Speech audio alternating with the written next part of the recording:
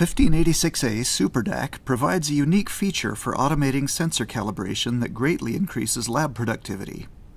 When connected to a Fluke dry well or fluid bath, the Super DAQ can control the temperature source to run the calibration automatically, all within the parameters you specify. After you configure and start the test, you can walk away to work on other things. The 1586A Super DAQ just made your day a whole lot easier. This video provides a step-by-step guide for setting up and running an automated sensor calibration. The Super DAQ can control most Fluke temperature sources including metrology wells, handheld and field calibrators, thermocouple furnaces, microbaths, and calibration baths. One temperature source can be connected to the Super DAQ at a time. There are seven steps to set up and run an automated sensor calibration. In this video, we'll use the Super DAQ with a 9142 field metrology well. Step 1. Connect the RS-232 cable. Connect a null modem RS-232 cable to the temperature source control port on the rear panel of the Super DAQ and to the RS-232 port on the front of the 9142. Ensure that the baud rate of the 9142 matches the 1586A.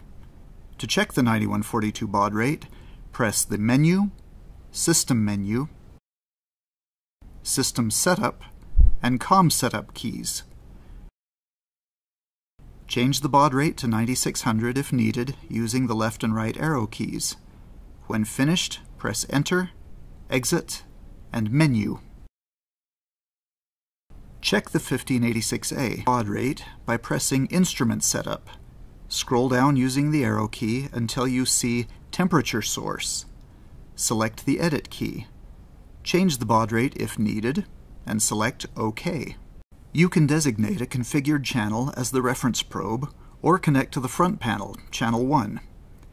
We have connected a 5628 probe to the front panel. We have connected three Type T thermocouples to channels 1 through 3 of a high-capacity module. The high-capacity module is inserted into the slot on the back of the Super DAQ. The thermocouple ends are then inserted into the 9142. Step 2. Configure the Super DAQ channels. Press Channel Setup.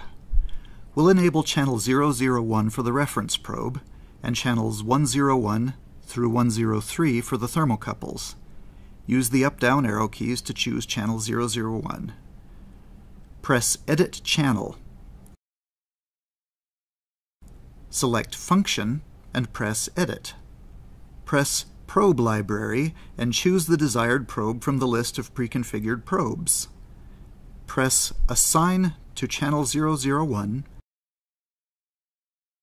and Verify Channel to confirm that the channel has been configured properly. Press the back key twice to return to the channel setup menu.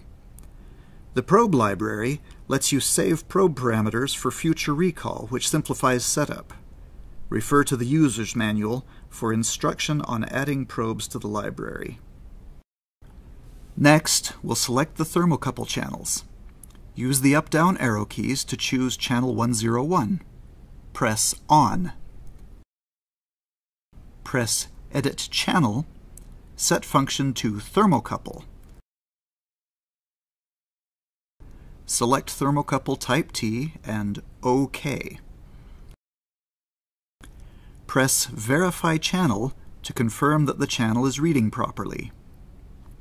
Press back twice and then Copy Channel. Press Select to paste channel 101's configuration to channels 102 and 103. Press OK when complete. You can confirm that any channel has been configured properly by selecting the channel, pressing Edit Channel, and then Verify Channel. Step 3. Select Test Parameters. Press Test Setup. Change the trigger type to Automated Test by pressing the Edit key twice. Scroll down to Automated Test and select OK. Scroll down to Scan Count and press Edit. We'll enter a scan count of 30 and press OK. Scroll down to Sequence and press Edit. There are three scan sequences available linear, alternate reference, or up-down. Select linear and press OK. Scroll down to Reference Channel 1 and press Edit. Choose Channel 001 and press OK. Leave Reference Channel 2 as None. Scroll down to Control Source and press Edit. Choose On and press OK. Then press Back. On the Test Setup menu, scroll down to Auto Recording. Press Edit. Choose On and press OK. In this example, the file destination will be internal. If desired, you can write data directly to a USB device connected to the USB port on the front panel. Step 4. Choose set point temperatures. Scroll up to trigger type. Press the Edit and Set Point keys. We will configure two set points. Select Set Point 1 and press Edit. Enter a set point temperature of 30 degrees C.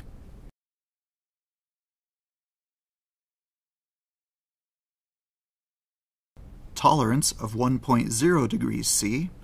Stability of 1.0 degrees C.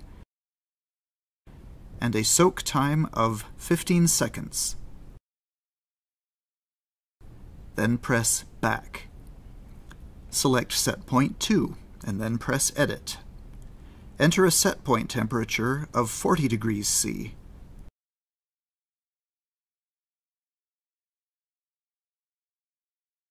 Tolerance of 1.0 degrees C, stability of 1.0 degrees C, and soak time of 15 seconds.